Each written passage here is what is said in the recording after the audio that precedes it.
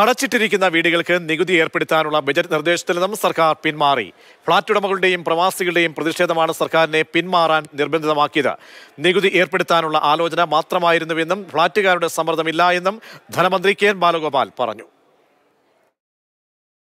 പുതുതായി നിർമ്മിച്ചത് ദീർഘകാലമായി ഒഴിഞ്ഞുകിടക്കുന്നതുമായ വീടുകൾക്കും പ്രത്യേകമായി നികുതി ചുമത്തുന്നതിനുള്ള അനുയോജ്യമായ രീതി നടപ്പിലാക്കും.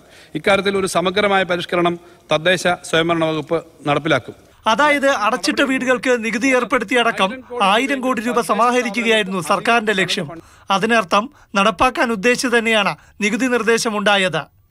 അടഞ്ഞുകിടക്കുന്ന വീടുകൾക്ക് തദ്ദേശ സ്ഥാപനങ്ങൾ നികുതി നിശ്ചയിച്ച് ചുമത്തിയാൽ പ്രതിസന്ധിയിലാകുന്നത് പ്രധാനമായും ഫ്ളാറ്റ് നിർമ്മാതാക്കളും പ്രവാസികളുമാണ്.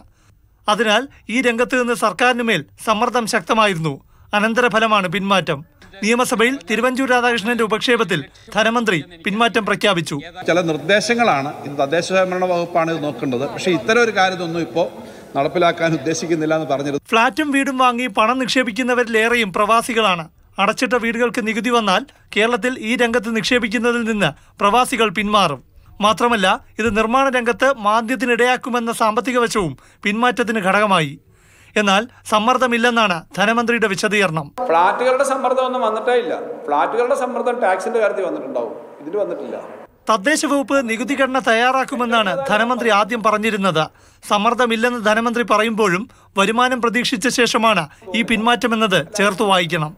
നിയമസഭയിൽ നിന്നും പ്രശാന്ത് കൃഷ്ണ മാതൃഭൂമി ന്യൂസ്.